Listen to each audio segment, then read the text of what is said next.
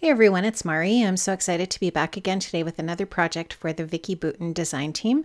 I'm going to be using this beautiful pattern paper from Storyteller. This is the paper that's called Patchwork, and it just has this really gorgeous kind of tile pattern on the the A side and on the B side it's got just this beautiful navy blue with that text and I just love this paper. I love both sides of it and it was really the inspiration for my project today. So I'm going to be using that and I'm also going to be using a piece of the foundations paper. Now that cardstock is just from my stash, that blue cardstock. I had pulled that just kind of for color inspiration. I wasn't sure if I was going to use any cardstock on the layout so I actually don't end up using it, but I just had it out on my desk here at the beginning of my process. So this is my foundations paper here. I'm just going to show you the area that I want to work on. And I kind of want to create sort of like a diamond shaped pattern with that tile paper, that patchwork paper, just to create um, the details for my layout here today. So I'm just going to, going to get everything organized. I've got a little piece of uh, plastic plastic sheeting. I've got my stencil brush in case I need that.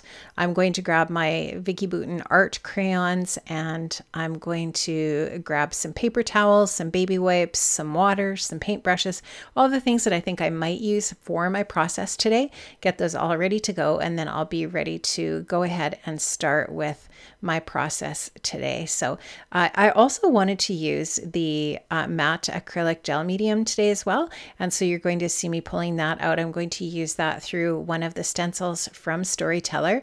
And there you can just see I'm getting my baby wipe and my paper towel. I have to have baby wipes and paper towel on my desk when I'm working with mixed media just because I get pretty messy. And it's nice to have that nearby so that if you do end up needing to um, sop up some extra uh, moisture and that sort of thing, you've got that ready to go.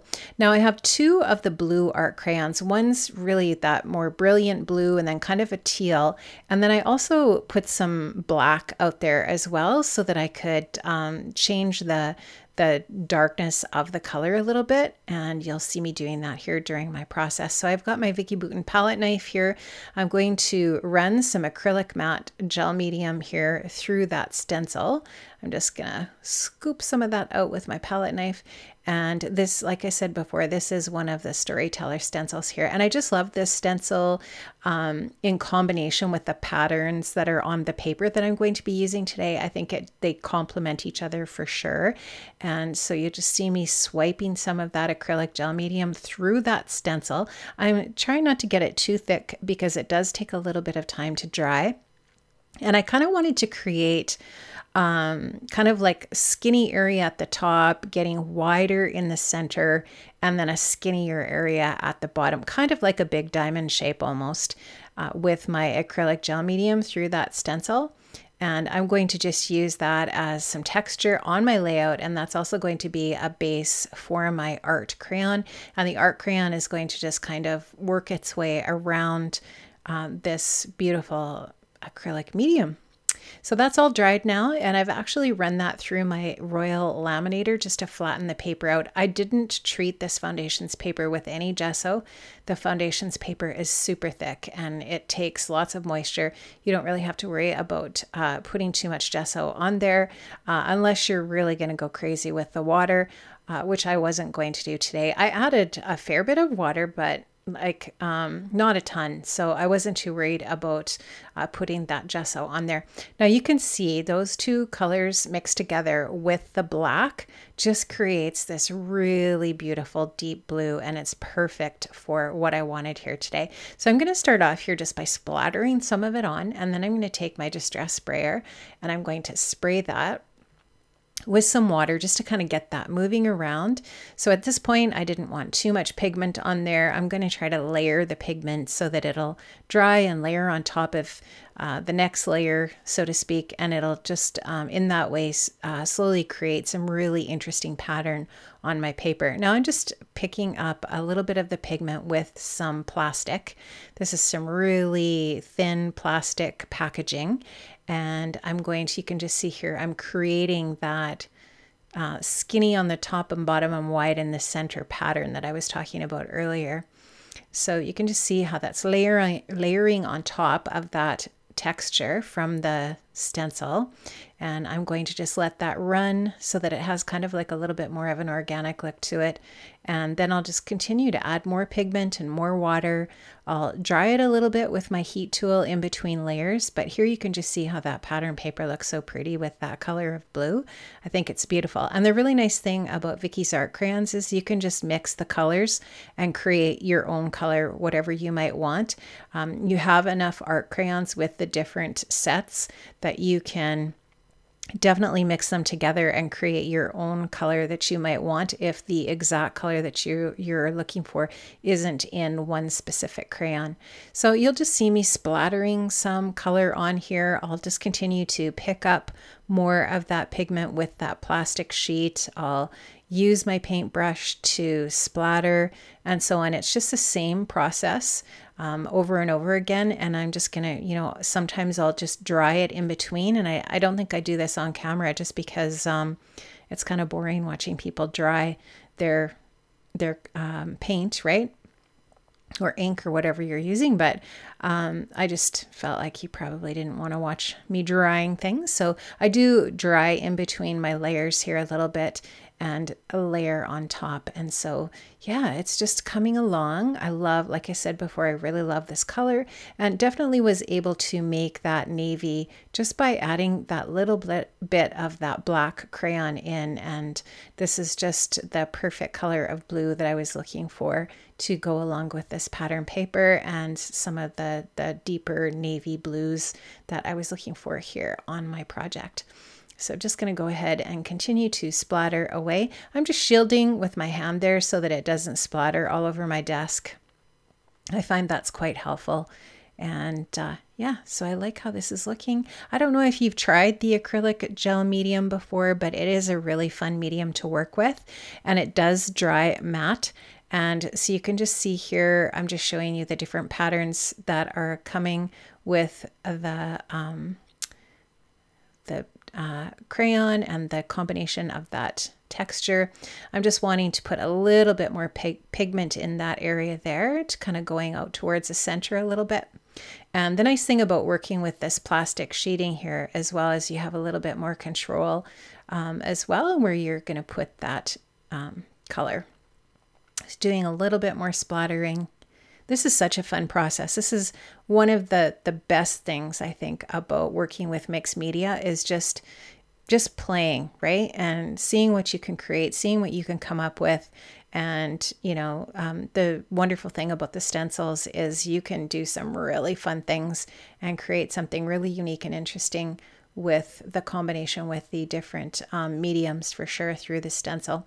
Now I'm just going to water my crayon down there again that I have on my plastic sheeting. Just going to let that collect together and now I'm just going to lift that up and I'm going to let that go ahead and just drip onto my paper. And that creates just some really nice large drops. And actually, if you just let this dry, those drops will dry quite dark. And here you can see this is all dry now and I'm ready to kind of start doing my next step. So I want to take my patchwork paper here and I want to run it through my trimmer and just cut some of those squares that I was talking about that I wanted to use this paper for. So you'll just see here, I'm going to um, go ahead and just line this up, make sure that it's all lined up properly on my trimmer so that I can get this cut on the lines, the spaces in between the tiles. I don't want to actually cut through the, the tiles themselves. And you can see that these tiles are all just lined up nicely. I love this paper. It is genius. It is absolutely perfection. Um, it's kind of got that little bit of distress look to it. Um, it's very interesting and varied. And I love this so much. I could have 100 sheets of this. Love it. It's gorgeous. It's actually, it reminds me a lot of decor and a lot of the tile that's really popular right now in home decor. Um, so pretty. And so I really wanted to use this on an angle, right? So that it's like that diamond shape. And I wasn't really sure at this point where I wanted the placement of these shapes to be, but I knew that I wanted them to work uh, in tandem with that mixed media that I have on my paper at this point. So I'm going to uh, work with three different squares or diamond shapes. So I'm going to go ahead and cut out a couple more. And I'm just kind of looking at the paper and trying to decide where I want to cut so that I can use my paper to its maximum. I don't want to waste it, in other words. So I am going to also use this paper um, down the side of my layout as well. Here in a little bit, you'll see that. So I'm going to use a lot of this paper up, but it's going to be sort of like in different parts. And um, yeah, so I'm just going to cut those other two squares here.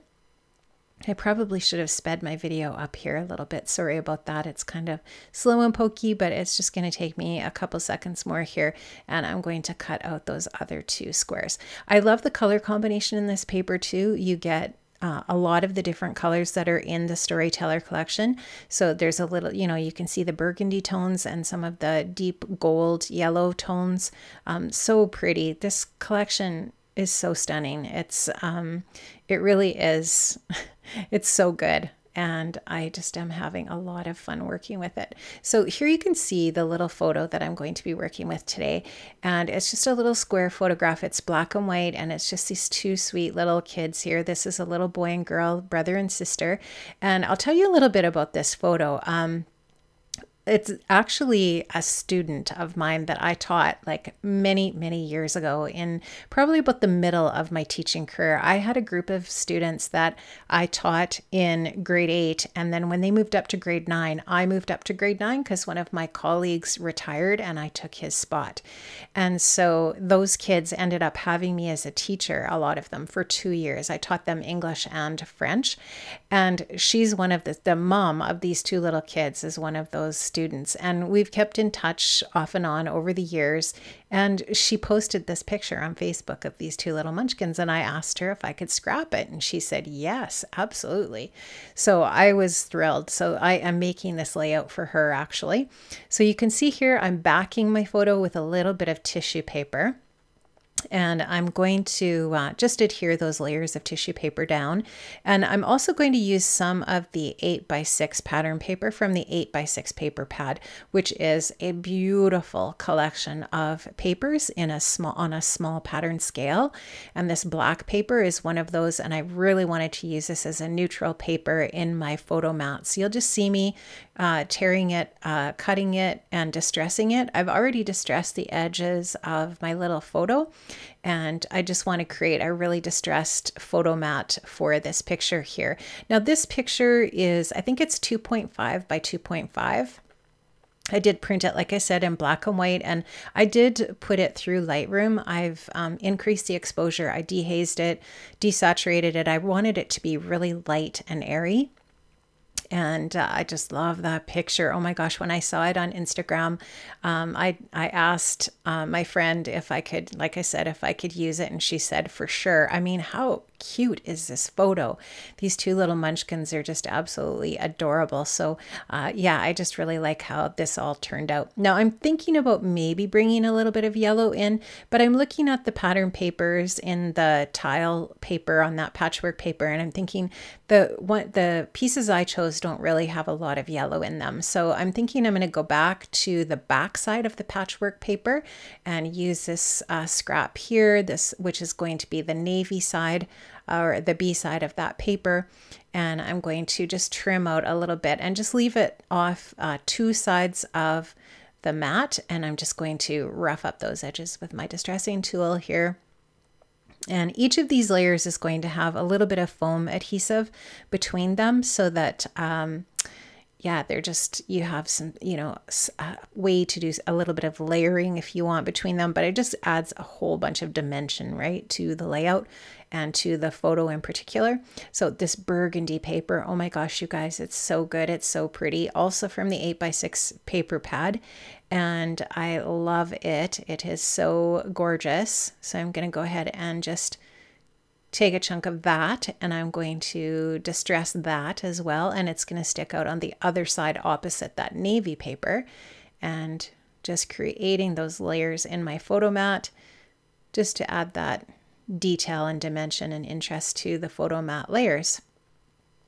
Loving how that's looking. And like I said, I will put foam adhesive between each of those different layers with a little bit of craft foam and then I will just um, put some adhesive obviously between those layers and they'll be good to go. Now I'm looking at this and I'm going to use the manufacturer strip from this patchwork paper, but I'm also going to tear off a chunk of this um, with the navy side up. And I'm going to use that along the left edge of my layout here. Here you can just see I'm going to tear a little bit of that off, but I want to leave a little bit of excess on there because I'm going to fold it back on itself and kind of roll it a little bit and just make it look really interesting and, and textured on that side. So here you can just see, I'm just going to roll it and fold it. And it's interesting because when I put it down on the paper, it almost looks like there's another paper behind the navy when this is rolled up like that. And I also love that it reveals that patchwork pattern. And so it just brings your eye back over there and your eye is just sort of like pleased with that same pattern, right? That's on those little diamond shape uh, patchwork sections on the right side. So I really love that. Um, now these butterflies, oh my goodness, these dimensional butterflies from Storyteller. Mm, so good. Love, love, love these. So I wanted to use three of these on this layout. I thought they were just like a really perfect soft combination with this photo. And just, it's kind of like a little bit unexpected with that patchwork tile pattern to have the butterflies too, right?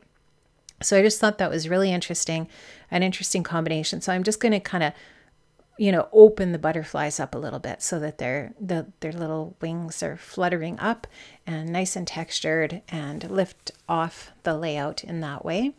And here you can just see, I'm to, I'm actually taking a little bit of tissue paper from my stash. This is some Tim Holtz um, tissue paper, which I love using on layouts like this. And I'm just going to rip a little bit off and I'm going to put it behind my photo as sort of like a final mat at the very back. And it, I think it just adds some really cool texture and interest to the photo mat layer in that way. So I'm going to get that stuck down and yeah, I like how that looks. I think that's neat. And I'm going to just kind of play around with the placement of things at this point. Nothing's written in stone, stone so to speak, just yet.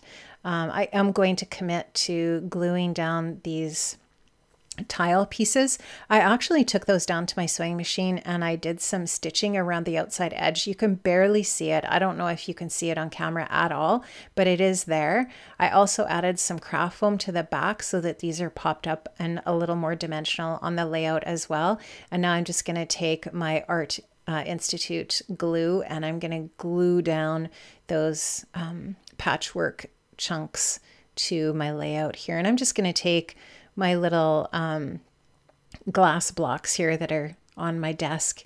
And those are just some paperweights. I like to use those when I'm adhering small pieces like this down to the mixed media. It, it is important to use some liquid adhesive on the, the um, matte acrylic gel medium just because like it it's not easy for other things to adhere to that. So it's good to use uh, some really strong adhesive.